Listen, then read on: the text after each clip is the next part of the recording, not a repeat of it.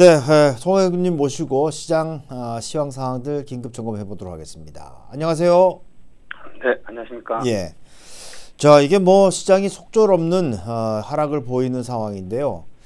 이게 지금 뭐 펀더멘탈은 이미 물 건너간 것 같고 어, 시장의 기술적인 상황들을 좀 점검해 봐야 될 것 같은데 에, 시장 상황을 좀 살펴주시죠. 자, 예, 어, 뭐 지금 3천 포인트가 이제 정, 미국 증시가 이제 하락을 하는 이런 이제 어떻게 보면 사태죠, 사태, 사태라는 예, 말이 어울릴 정도로 지금 브레이크가 없이 지금 하락을 하고 있는데, 어, 이럴 때일수록 좀 기술적인 그런 위치를 이제 볼 때 좀 큰 지표를 볼 필요가 있거든요. 네. 그래서 예, 저는 이제 월봉이나 연봉을 한번 이렇게 지금 참고를 하자 이렇게 좀 말씀을 드리고 싶습니다. 음. 그래서 지금 이번에 이제 오를 때 사실 이 자리죠. 이 지금 2월 1월 달이죠. 1월 달. 1월 달에 이제 반 어, 지수가 이런 식으로 움직였죠. 크게 보면은 저 2,600 포인트에서 하락을 해서 그 다음에 요 이, 어, 3분의 1 정도 이제 반등이 나와서 그게 1월 달에 2,277 포인트의 이제 고점을 예, 찍었는데 저는 이때 이제 월봉을 한번 이제 봤거든요. 이때 월봉을 보니까 이게 여기서 지수가 올라가기가 제가 보는 이제 견해에서는 올라가기가 힘든 위치라고 저는 이때 판단을 사실 했습니다. 어 이상하다 월봉으로 보니까 갈 수가 없는 자리네. 이렇게 해서 사실 저는 이때서부터 이제 계속해서 현금화 문자를 계속해서 보냈어요. 음. 이렇게 해서 보내서 그래서 이제 뭐 현금화를 계속 이제 저는 상, 지수가 상승하는 게 아니다, 상승하는 게 아니다 하고서 그런 쪽으로는 이제 계속해서 이제 대비를 해서 지금은 뭐 거의 현금화 이제 7, 80%를 다 해놓은 상태라고 이제 할 수가 있는데 어 문제는 이제 여기서부터 또 이렇게 급락이 나올 거다라는 이제 그런 생각은 사실 뭐 그것까지는 하지는 못했죠. 단지 못 올라갈 것이다라는 이런 생각으로 이제 대응을 어 했었는데 지금 상태는 이제 여기에 이제 코로나가 이제 겹치면서 그러면서 걷잡을 수 없는 이제 그런 급락세를 보이고 있거든요. 그래서 지금 위치가 이게 월봉에서 2011년도서부터 박스권을 이제 만들었던 저 5년간 박스권을 만들었던 그 자리에 지금 완전 하단부에 와 있는 상태거든요. 음. 지금 월봉상으로 이렇게 보면은 이 박스권을 지금 여기에서도 지금 그러면은 브레이크가 이제 들어야 되는 그런 시점인데 교수님은 여기서 브레이크가 들을 것 같습니까? 아니면은 조금 더 하락할 것 같아요? 지금 상태에서는 떨어지는 칼이잖아요.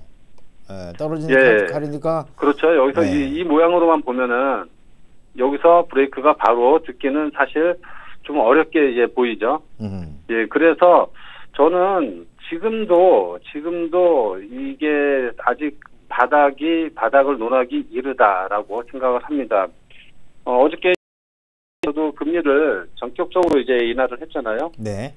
인하를 했는데 그 인하를 한 시점이 사실 코로나가 어느 정도 진정이 되는 시점에서 인하를 했으면은 괜찮은데 음, 음, 음. 코로나가 아직 끝이 어딘지 보이지 않은 상태잖아. 어떻게 보면 미국이 이제 시작인 시작이라고 볼 수도 있고 이런 시점에서 금리를 거의 인하할 대로 인하했으니까 그 다음에 이제 내놓은 카드가 이제 거의 이제 없는 상태가 지금 돼버리니까 이제 시장의 충격이 더욱 더 지금 배가가 배가 되고 있다 이렇게 이제 볼 수도 있거든요. 그래서 음, 지금 여기에서 어 지금 시점에서 특히나 이제 요- 요 기술적으로 이제 봤을 때 여기 이제 일목균형표에서는요 이렇게 26 기준선이라는 지점이 있는데 이게 월봉상에서 네. 하- 상승을 해야 되는데 이번 달부터 이번 달부터 이 기준선이 하락하는 시점에 와 있었거든요. 음. 제가 지난달서부터 이 얘기를 했습니다 회원분들한테 다음 달부터 기준선이 하락하는데 그 기준선이 하락을 할 때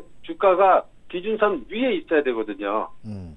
아래에 있으면은 이게 하락으로 하락 매물로 작용을 할 것이다. 그- 그래서 항상 기준선이 하락을 할 때는 그 주가는 기준선 위에 있어야 된다 반드시 아래에 네. 있으면은 예, 반드시 하락을 한다.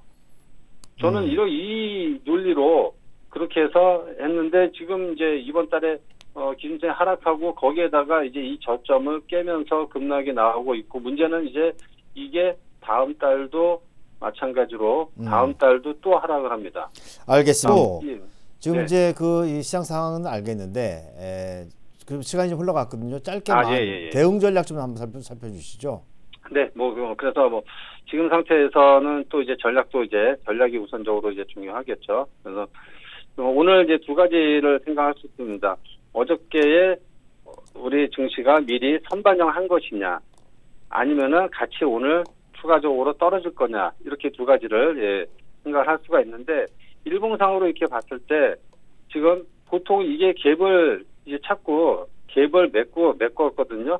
어느 정도 갭을 메꾸고 나서 그리고 반등이 나오는 듯 하다가 지금 다시 밀리는 시점. 그래서 오늘 다시 큰 폭의 갭이 나오느냐 안 나오느냐.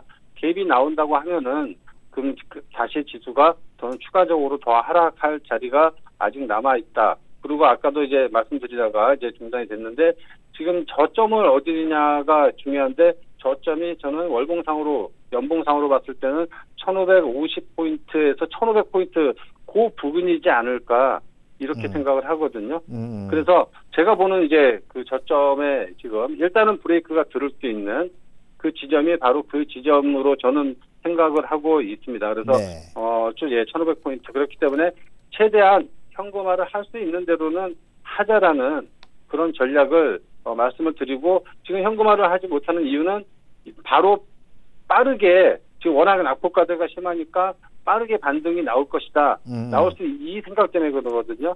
하지만 저는 반등이 그렇게 지금 강, 어, 강하게 나오기 힘든 구간이고 거기에다 반등이 나와도 장중 반등 어, 또는 하루짜리 반등 이런 식으로 나오고 있거든요. 네. 그렇기 때문에 저는 지금이라도 할 수 있는 거는 하고 이미 이미 엄청나게 손실이 가속 가중된 거는 뭐 그건 어쩔 수가 없겠죠. 하지만 음. 할수 있는 대로는 한번 현금화를 할 수 있는 해보자. 지금도 저는 이렇게 알겠습니다. 말씀을 드리고 싶습니다. 예, 예, 오늘 말씀 감사드리고요. 또 뵙도록 하죠. 고맙습니다. 네.